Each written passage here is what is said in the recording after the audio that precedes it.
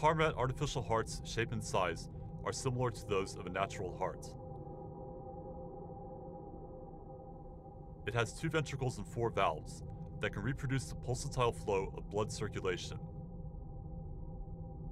and accelerate and reduce cardiac rhythm according to the level of effort being exerted by the patient. It is made from chemically treated animal tissue to lessen the risk of blood clots and rejection by the immune system. To power the heart,